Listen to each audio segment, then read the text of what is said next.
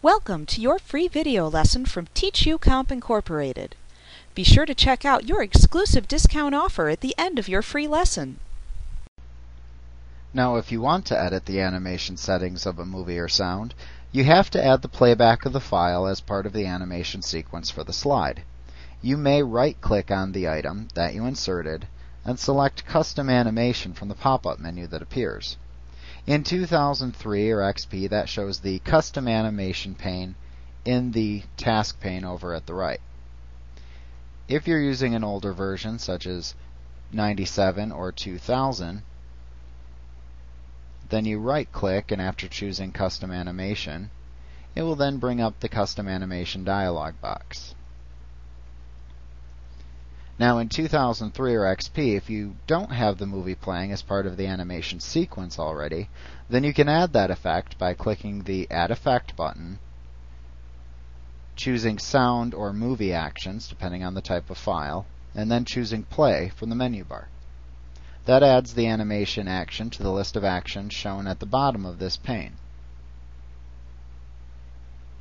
In 2000 or 97, you can simply check the name of the object to animate in the list of slide objects in the upper left corner of the window. Then down below on the Multimedia Settings tab, make sure Play Using Animation Order is selected. Then you select whether during playback you want the other animations to continue, or should it pause the movie to allow for the playback. If you select to let the animation continue, you need to select when it should stop then below that. So should it stop after the current slide or after, and then you could input the total number of slides. And once you'd set your animation, you could click OK. And same thing in uh, 2003 or XP.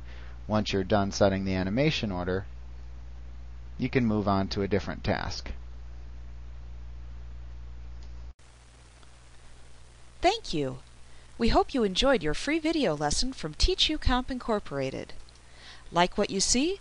Pick up your copy of our complete tutorial today and be sure to visit us at www.teachucomp.com slash YouTube for your special bonus offer. Our complete tutorial featuring introductory through advanced material is available on CD-ROM or digital download. You will receive our high-quality video lessons plus printable instruction manuals in one easy-to-use training package. With over two dozen titles to choose from, you'll be sure to find the training you need in Microsoft Office, QuickBooks, Photoshop, and much more. Visit us today.